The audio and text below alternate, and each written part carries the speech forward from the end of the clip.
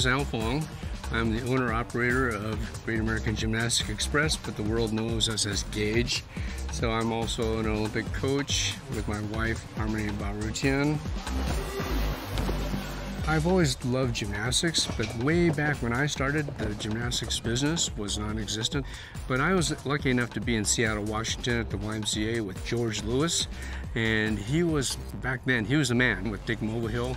And they were the leaders of the industry in the United States. I was in that era. That's when I started my gymnastics as a gymnast, but I fell in love with coaching because after my workout at the YMCA, I helped with the girls' gymnastics team. And it kind of evolved from there. But see that? You can't do that. Don't do that anymore because it's on the floor. And if you got if you got all the milky, pasty chalk on it, if I happen if, if Teddy happens to stand here like this, ugh. right? It's like me going, ah, The phone rang in Otillo Gomez's apartment on the night of May 5th. Boxes bound with packing tape stood against the wall. In two weeks, Otillo and Christy planned to load the car and drive up to Missouri. The family, Otillo thought, would soon be together again. Hello, Otillo answered cheerfully.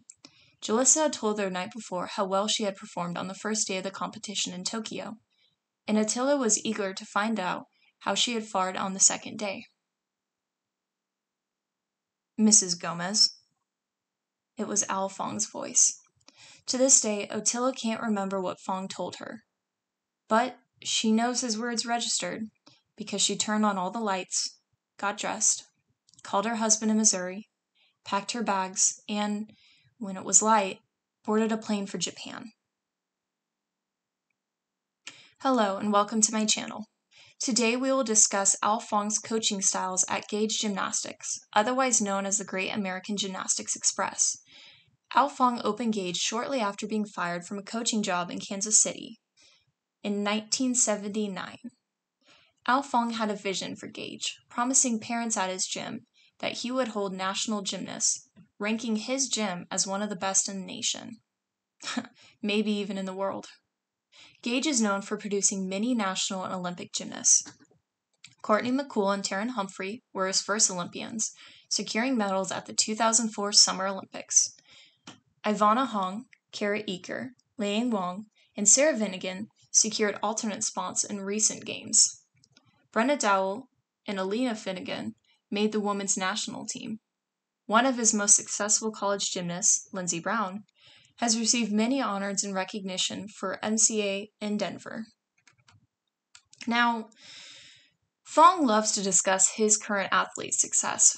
I mean, you can see it on any Instagram, recording Kara getting her nails done with his wife Armin, or having Ali explain on Facebook what the twisties are to those who aren't familiar with gymnastics.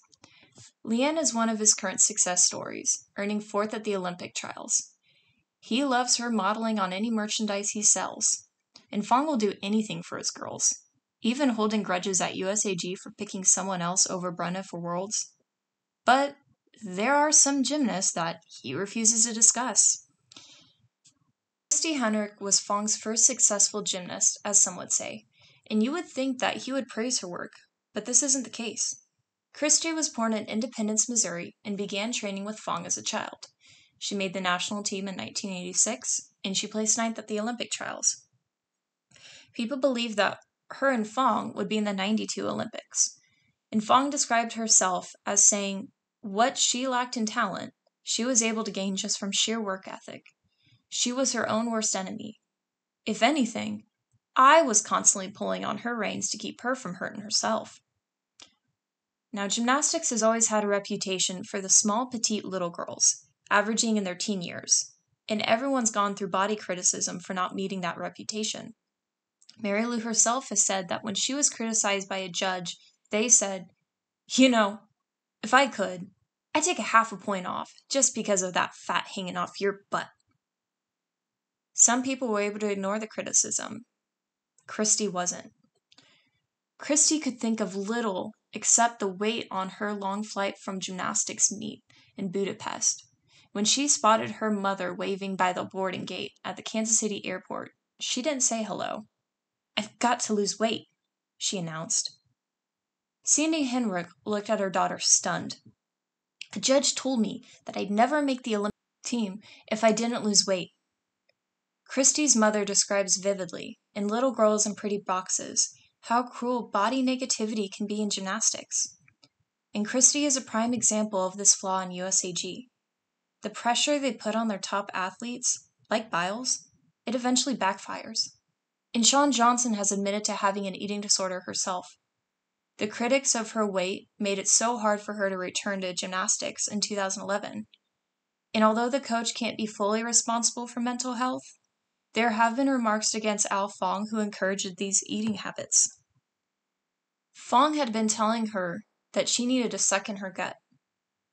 Christy recalls Fong once calling her the Pillsbury Doughboy and reminded her frequently about how thin Russian gymnasts looked. Christy stated that when she would lose weight, Fong said she looked great and reinforced her obsession to look thin. She was only 90 pounds. Fong has stated in many interviews that he never called her fat and he doesn't know what the Pillsbury Doughboy is. But it sounds to me like Fong may be refusing to admit to his mistakes. Because other girls at the gym say that Fong would discuss Christy's weight to the public on a regular basis. It was a common topic in the gym. Fong failed to recognize mental health and encourage eating disorders in an effort to improve his gymnastics performance. In the end, it backfired. When I researched Fong, I began to notice that he neglected a lot of his athletes' safety. And a great example of this is centered around Karen and Julissa. Julissa Gomez was a successful gymnast who transferred to Gage after stating that she could no longer handle Karolyi's abusive coaching methods. Her and Christy became friends at national meets, and she was convinced that working with Fong would increase her chances of going to the Olympics. Within months, Al Fong forced Julissa to compete one of the hardest vaults of its time, the Yurchenko. The Yurchenko was introduced by Natalia Yurchenko, a Soviet gymnast in 1983, and the vault was very dangerous.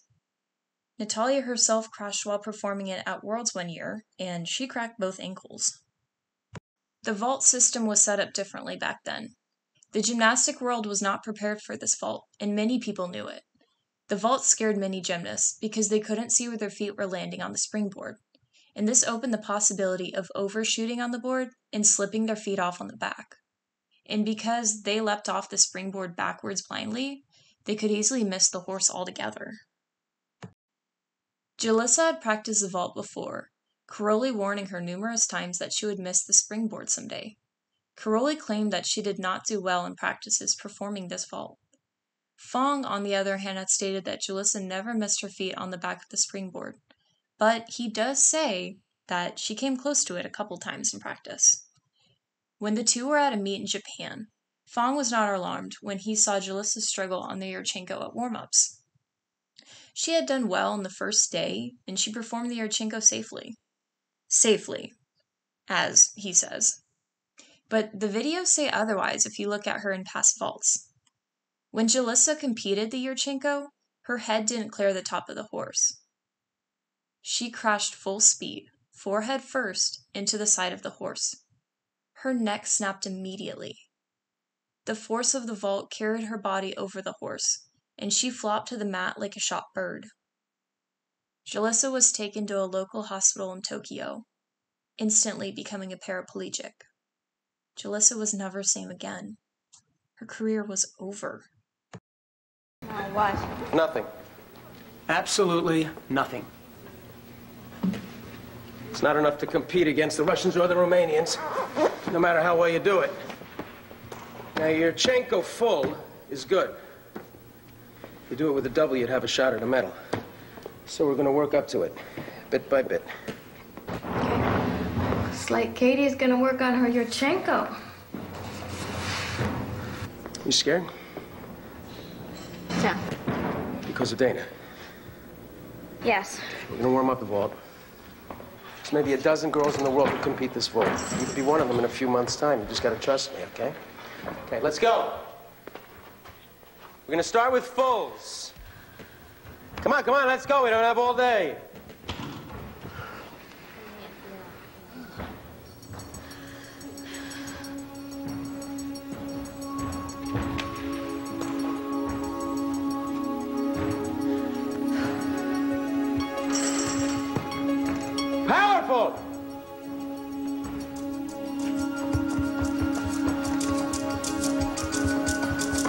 Strong round.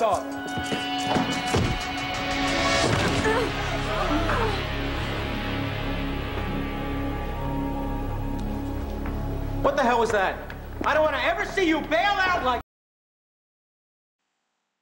Karen Tannery was another victim. At the Olympic Festival in 87, she messed her hands on a Yurchenko and landed on her head. When she rose, she held her neck and saluted the judges. Moments later, she lay down on the mat, feeling lightheaded. X rays showed that she had cracked a vertebra in her neck. She was close to being paralyzed. Three months of her career were spent in neck brace. This happened just months after Julissa had hurt herself performing that same vault. Now, Karen was different because her injury wasn't as severe as Julissa's, but their story is still the same because both gymnasts had told Fong that they were scared to perform a Yurchenko and refused to train it in practices. Many gymnasts have gotten injuries and become paraplegics because the old vault system wasn't designed for harder vaults. Coaches knew this. Still, Fong forced his gymnasts to do hard skills because he knew that it had high start values. Fong only cared about one thing status. His status. He wanted to be known as the most successful coach in America. If this meant that he'd risk injury, that was okay. After all, his gymnasts were doing daredevil skills that some coaches refused to teach. His gymnasts were winning. Maybe not as high as he'd hoped, but in his eyes, he felt like Julissa and Christy would be the first of his to medal at the upcoming games. But then, things got worse. Julissa never recovered and went into a coma shortly after her injury. She passed away three years later. Chrissy passed away years later after organ failure from anorexia nervosa. Julissa's family sued Fong for damages after Julissa had passed. And Fong was shocked, not just at Julissa's family who was suing, but Christy's family as well, because they testified at court against him. He had done everything right for Christy, right? I mean, he had kicked her out of the gym. When she became too thin, he kicked her out. He stated that she couldn't do gymnastics until she had gained weight. He did nothing wrong. Well, that's a lie. You see, coaches sometimes tend to get wrapped up in their own bubble that they fail to register the health of their gymnasts. Christy had shown poor eating habits for months before he even kicked her out of the gym. He had to have known this. Karen and Julissa stated many times that they were scared to work out in the gym. He knew this. Julissa talked about Elena all the time. She was her idol. But Fong refused to listen. Fong knew that Elena was forced to do a skill and got hurt. Fong refused to listen to his gymnasts, which included their mental and physical health. Because of this, some people think he may go down in history as the worst coach of USAG history. Some people have other opinions, though. After two of his gymnasts died under his watch, he admits that he took a break from the scene. Some people think of it as an actual break, and others only call it because some of his girls that were doing elite switched down to NCAA levels. Some people even left the gym or retired the sport. Scared of returning, Fong decided to work for after school programs. That's when Terin and Courtney arrived, and history was made for him. People began to believe that Fong was now okay, since he had sent two gymnasts to the Olympics in one year alone. He was getting awards for it, he was being recognized. It had been almost a decade since being in the scene, and they thought he had changed. Some people think so, since after marrying Armin. She was a Soviet gymnast herself who had trained under abusive tactics, and when the two had met and married, Armin told Fong how horrible, how horrible and abusive her coaches were. And he decided to change his ways. Most of his current athletes have not said negative remarks on Fong. Um, Terin loves sharing her leotard line with Fong, and the pink leotard definitely shows off on Kara's body. The Finnegans love Fong. It's because they've helped their daughter go off to numerous NCAA schools, Aleah and Sarah to name a few. But Ivana has said otherwise. In a gym, Al Fong looks the part of a master motivator, especially through the eyes of a teenage girl. I don't know. I was kind of intimidated by him. Um, I always saw him like at camps when I was really little, and just came in with those black gloves and um, bald head. So Intimidated or not, Ivana Hong thought she needed Al Fong's tough love to make the Olympics. After all, he coached two silver medalists in 2004, and Ivana appeared to be his next great success story. For four years, she trained under Fong. Then, just months before the Olympic trials, her ankle started hurting. The 15 year old tried to tell her coach, but he wouldn't listen. They kept telling me that nothing was wrong with my foot, and like I knew what was wrong with it, but I wasn't going to be like, you know, I have a fracture in my foot and I'm not going to train. Fong discouraged Ivana from seeking medical treatment. Against his wishes, her mom took her to a doctor who confirmed that she had a fractured ankle. With the Olympics looming, Ivana felt she had no choice but to trudge on. She finished fifth at the Olympic trials, earning an invite to the team's. Ivana was forced to train on injury, something Fong has made a habit of. Christy herself was forced to compete in a meet after breaking her foot days ago in practice. So one is left to believe if Fong has really changed. Aleah seems to be very bubbly, but Leanne and Kara seem to be more reserved. It really shows in the interviews and the how to videos that he posts on Instagram. Kara's family has also said that she is hard on herself, and a clip from USAG shows Alan Armin being pretty stern with her after doing poor on a competition. So, is he really the Cinderella story that USAG so desperately needs? That coaches can turn from evil to good? Has he changed, or has his coaching methods just gotten better over time? I'll let you decide for yourself. For me, I don't have much of an opinion since I've trained at Gage for less than 10 hours of my whole life. I've never seen nor trained under him. I've never seen the Gage girls in person.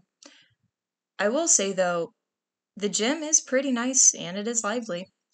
But I want to believe the good in those and I have to hope that USAG will change its tactics. Hopefully, this series will put a light to that.